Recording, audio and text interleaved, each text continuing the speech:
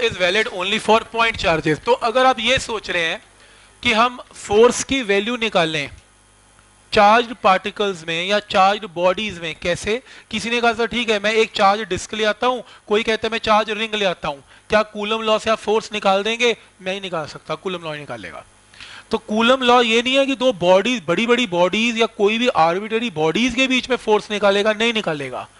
Point के बीच में निकालेगा कि आप ये ज़रूर बोल दो कि आपके पास एक पॉइंट है जिसके ऊपर Q1 चार्ज है, एक और पॉइंट मास या पॉइंट चार्ज है Q2 they are separated by a distance of R.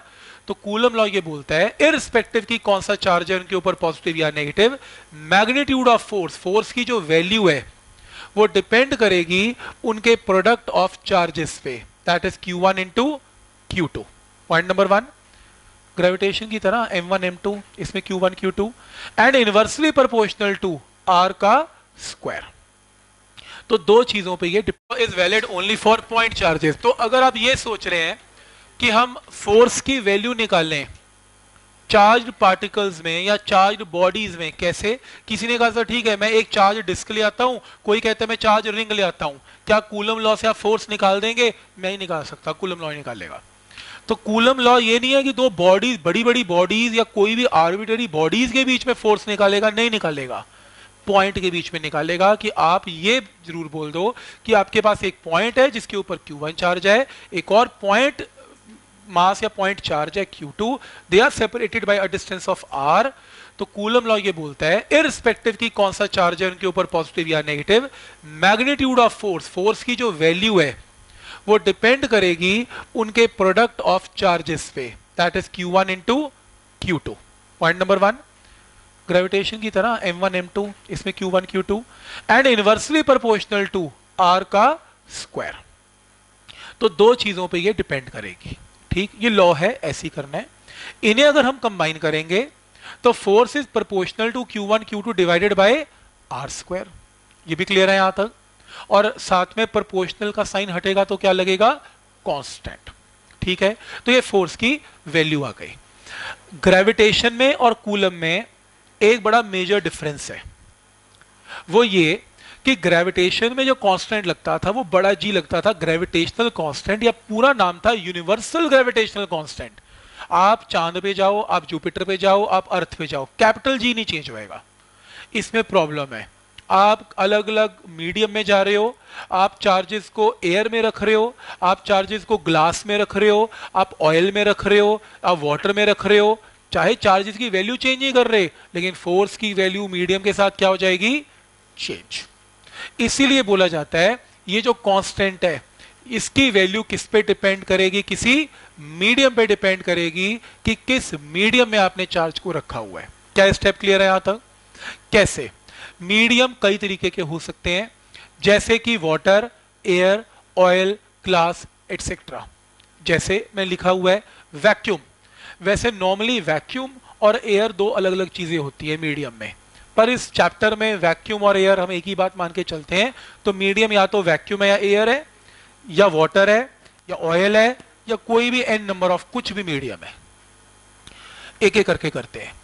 अगर मान लो मीडियम वैक्यूम है और सिस्टम ऑफ़ यूनिट कौन सा है? एस आई है। तो कांस्टेंट की वैल्यू आपने याद रखनी है।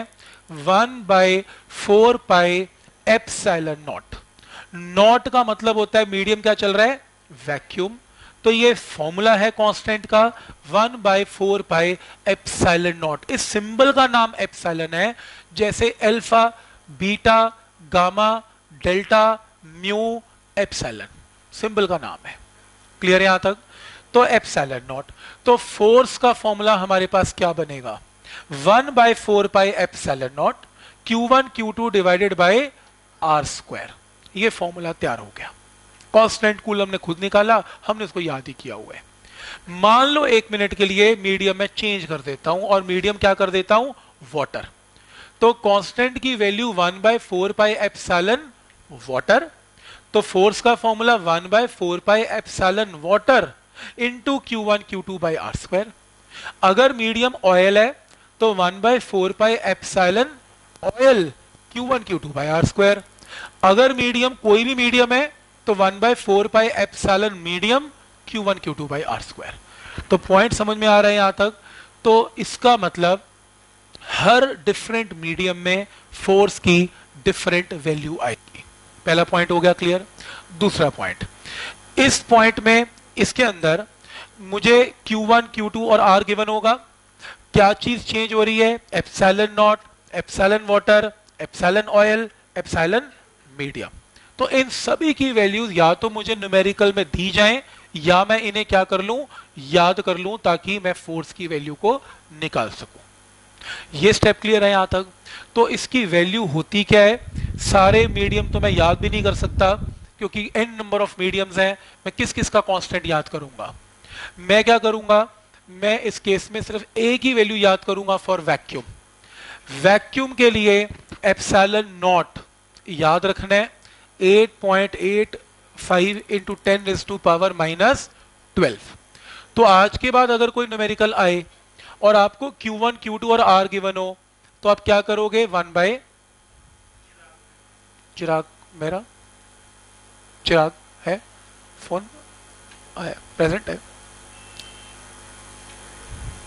नहीं नहीं, बैठ जाओ बैठ जाओ बैठ जाओ। फ़ोन कर, बता दो। One by four pi 8.8 point eight into ten is to power कितना माइनस ट्वेल्व इंटू चार्ज और आर मुझे मालूम होगा, मैं वैल्यू पुट करूँगा, मेरा आंसर आएगा। ये स्टेप क्लियर है how to calculate force between two charges पीछे क्लियर है यहाँ तक तो फोर्स की वैल्यू आएगी यहाँ तक। एकदम क्लियर है? ठीक? सो नेक्स्ट अगर मान लो मीडियम चेंज हो गया तो उस केस में एप्साइलन नॉट की जगह मुझे क्या देना चाहिए उसे? एप्साइलन वॉट ये मैं याद नहीं कर सकता, पता नहीं कितने मीडियम है।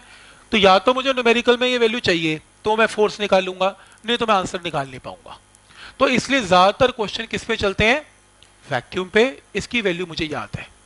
क्या स्टेप क्लियर है? अब हर न्यूमेरिकल के अंदर हर न्यूमेरिकल में Q1, Q2, R गिवन होगा। मैं बार बार कैलकुलेशन कैसे करूँ?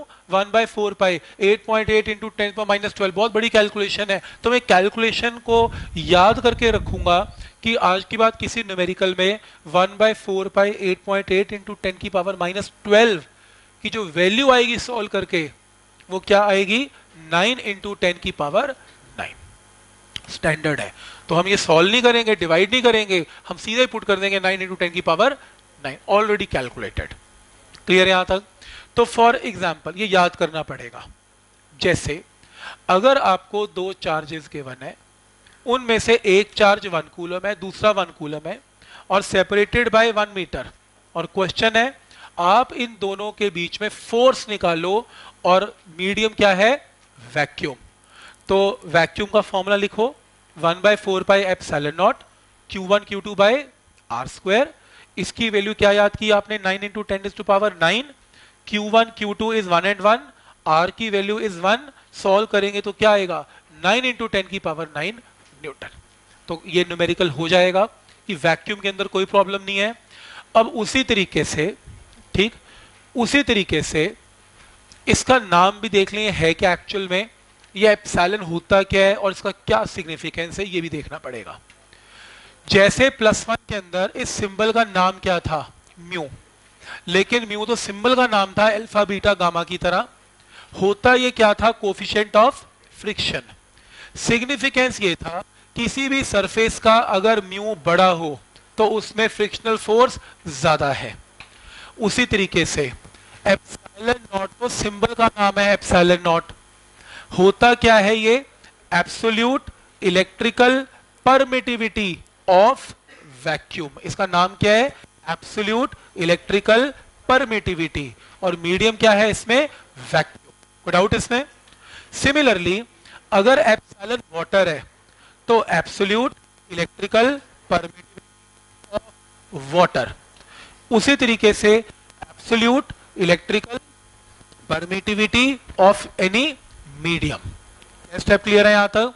तो ये इसका नाम है। सिग्निफिकेंस क्या है? अगर किसी भी मीडियम का परमिटिविटी हाई हुआ एप्सैलन एम की वैल्यू बड़ी हुई तो उसमें फोर्स की वैल्यू क्या आएगी चार्जेस में? छोटी।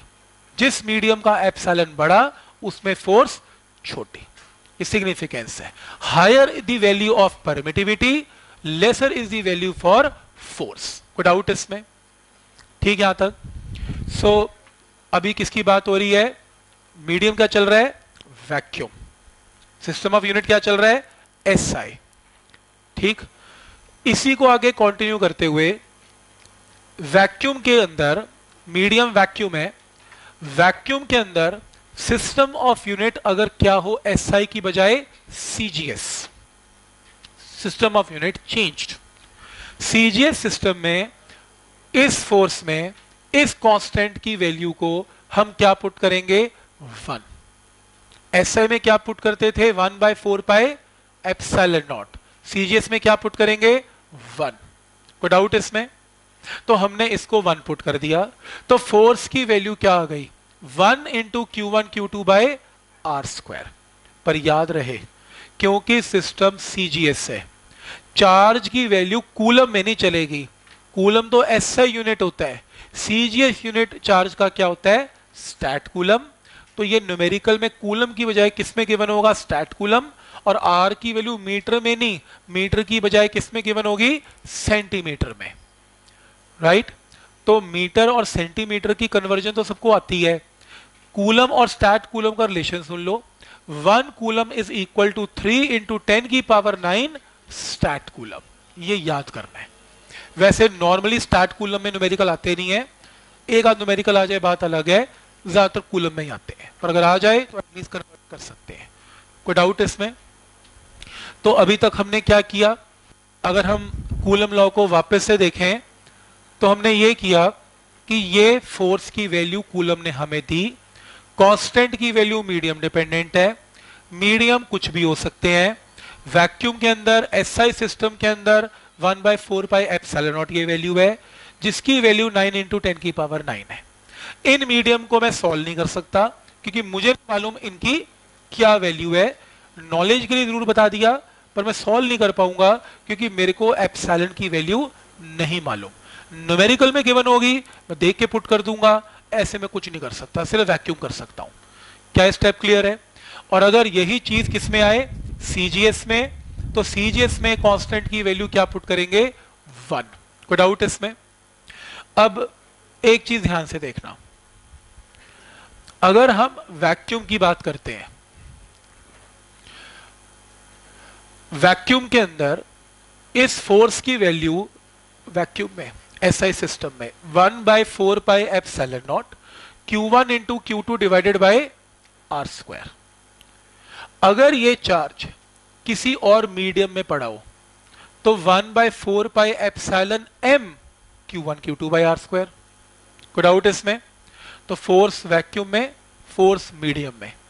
अगर मैं इन दोनों को डिवाइड कर दूँ डिवाइड का मतलब वैक्यूम और मीडियम की फोर्स को डिवाइड किया, इस फॉर्मूले को इससे डिवाइड किया, ये सारी टर्म कैंसिल हो गई four pi four pi cancel हो गया एप्साइलन एम ऊपर चला गया एप्साइलन नॉट नीचे आ गया तो ये रेशियो आ गई। तो force in vacuum upon force in medium की value epsilon medium divided by epsilon naught में कन्वर्ट हो गई। ये रेशियो समझ में आ रही है? इसकी रेशियो को एक नया नाम दिया एप्साइलन आर आर का मतलब है एप्साइलन नॉट क्या होता था? Absolute electrical permittivity of vacuum epsilon M का मतलब absolute electrical permittivity of medium epsilon R का मतलब relative electrical permittivity of medium relative word क्यों यूज़ किया? क्योंकि इसमें दो मीडियम की परमिटिविटी की रेशियो यूज़ कर रहे हैं। क्या स्टेप क्लियर है यहाँ तक? एप्सैलन आर लेकिन ये नाम बहुत बड़ा है। Relative electrical permittivity of a medium बोलते बोलते भी लंबा है। इसका एक शॉर्ट नाम निकाला और इसका पूरा शॉर्ट नाम क्या है? डाइलेक्ट्रिक कांस्टेंट और ये एप्सैलन आर सिंबल भी बड़ा कंफ्यूजिंग है। यूज़ कर सकते हैं, कोई प्रॉब्लम नहीं है। इसकी जगह एक और सिंबल यूज़ करेंगे हम क्या? के तो एप्सैलन आर की जगह हम न्यूमेरिकल्स में क्या यूज़ करेंगे? के एप्सैलन आर और के का मतलब एग्जैक्टली सेम है। सिंबल ही चेंज किया थोड़ा इजी किया है। एप्सैलन आर का मतलब रिलेटिव इलेक्ट्रिकल परमिटिविटी और दूसरा नाम क्या होगा इसका? Dielectric constant one and the same thing क्या स्टेप क्लियर है? तो क्या मैं ये बोल सकता हूँ, इसकी जगह मैं के यूज़ कर दूँ आसान सिंबल और K is equal to F naught by F M clear है? के डायलैक्ट्रिक कांस्टेंट को डिफाइन करना हो, हम ऐसे कर सकते हैं K is equal to force in vacuum divided by force in medium तो मैंने नेक्स्ट पेज पे ये लिखा हुआ है कि K is equal to F naught by F M तो ये फॉर्मूला कहाँ से आया, समझ में आया? तो K is equal to F naught by F M और ये हम कैपेसिटर के अंदर ही प्रूव करेंगे क्योंकि डायलैक्ट्रिक कांस्टेंट तो एक नाम इंट्रोड्यूस हुआ है आज। इसकी बेसिक वर्किंग बहुत डिटेल में कैपेसिटर चैप्टर के अंदर आएगी। तो डायलैक्ट्रिक कांस्टेंट क्या होते हैं हम बाद में ज़रूर डिस्कस करेंगे, पर अभी के लिए इसको याद ही करना पड़ेगा कि k is equal to F naught by F M that's it की रेशियो होती है। और मेटल के लिए k की वैल्यू मेटल या कंडक्टर के लिए याद रखनी पड़ेगी. के की वैल्यू इज़ इनफाइनाइट स्टैंडर्ड है इनफाइनाइट होती है. ये क्यों होती है? ये मैं कैपेसिटर के चैप्टर के अंदर ही प्रूव कर पाऊँगा, आज नहीं कर पाऊँगा. आप इसको याद ही करें प्लीज़ क्लियर यहाँ तक? तो के का फॉर्मूला क्या किया हमने? Force in vacuum divided by force in medium ये क्लियर है? अब एक न्यूमेरिकल और मैं आपको इंपॉर्टेंस बताऊँगा कि कई लोग सोच रहे हैं, क्या कंफ्यूजन क्रिएट करे जा रहे हैं? पहले फोर्स ये याद कर लो, फिर कॉन्स्टेंट की वैल्यू याद कर लो, चलो वहाँ तक तो ठीक था, फिर डिवाइड कर लो, फिर एप्सिलॉन आर निकाल लो, उसका नाम भी के लिख लो, फिर के की जगह ये करो। मतलब क्या, बोलना क्या चाहते हैं? सिंपल ये बताओ। ये बोलना चाहते हैं, मान लो अगर आपको दो चार्जेस गिवन है one and three and R separated by two metre given है। फाइंड फोर्स बिटवीन देम जब किसमें पड़े हो चार्जेस वैक्यूम में। तो आप इसमें ये फॉर्मूला लगाएँ। One by four by epsilon naught, Q one, Q two by R square. आप इसमें इसकी जगह पुट करें नाइन इंटू टेन की power nine. One into three by R का मतलब टू का स्क्वायर। आपके पास इतने न्यूटन आंसर आएगा किसमें जो मीडियम क्या है? वैक्यूम इस क्वेश्चन की कॉन्टिन्यूशन में अगला पार्ट है। क्या? कि मुझे इन्हीं चार्जेस के बीच में फोर्स निकाल के दिखाएँ। लेकिन इस बार चार्ज वैक्यूम में नहीं पड़ा हुआ। इस बार चार्ज किसमें पड़ा हुआ है? वाटर में। और वाटर का डायलैक्ट्रिक कांस्टेंट क्वेश्चन में केवन है कितना? 10 तो मुझे ये डेफिनेशन पता है कि अगर वैक्यूम में फोर्स निकालनी है तो ऊपर वाले पार्ट से हमें निकालनी आती है, हमने निकाल ली। ऊपर वाले पार्ट से आ गया। हमें पता है के क्या होता है? F naught by F water medium की जगह क्या आएगा? Water F naught by F water के कितना इस क्वेश्चन में? टेन फोर्स वैक्यूम में हमें पता है 27 seven by four into ten की पावर नाइन पुट कर दिया. और वाटर में फोर्स मुझे निकालनी है तो एफ़ वाटर तो फोर्स इन वैक्यूम का तो हमें तरीका पता है कैसे निकलेगा? डायलेक्ट्रिक कांस्टेंट वाटर का पता है टेन है. तो इसको किससे डिवाइड किया? एफ़ वाटर से. क्रॉस मल्टीप्लाई किया एफ़ वाटर की वैल्यू आ गई. तो इस तरीके से हम किसी भी मीडियम में फोर्स निकाल सकते हैं। हमें उस मीडियम का क्या पता होना चाहिए? डाई इलेक्ट्रिक कॉन्स्टेंट कोई डाउट इसमें? तो बहुत अच्छा तरीका है। तो आज के बाद एप्साइलन वाटर नहीं गिवन होगा। आज के बाद डाई इलेक्ट्रिक कांस्टेंट गिवन होगा और वहाँ से आंसर आएगा। क्लियर यहाँ तक? जिन जो लोग कंपटीशन में बैठेंगे और मान लो बैठने के बाद एक क्वेश्चन आता है यूनिट्स एंड डायमेंशन का आ जाता है। मेंस में भी और नीट में भी। 90 परसेंट चांस है जो भी क्वेश्चन बनता है, उसमें एप्साइलन नॉट की एप्लीकेशन ज़रूर आती है। तो dimension formula for epsilon naught is force का formula one by four by epsilon naught Q one Q two by R square epsilon naught एक तरफ़ फोर्स एक तरफ़ one by four by constant है। चार्ज क्या होता है? एम्पियर टाइम चार्ज क्या होता है? एम्पियर टाइम आर क्या होता है? लेंथ फोर्स क्या होता है? M L T minus two solve करेंगे, अपने आप आंसर आएगा। तो ये इसलिए बता रहा हूँ क्योंकि इसकी एप्लीकेशन आपको यूनिट्स एंड डायमेंशन के अंदर मिल सकती है। आपको कैसे कैलकुलेट करना है, ये आपको मालूम होना चाहिए। क्लियर है यहाँ तक? Coulomb law in vector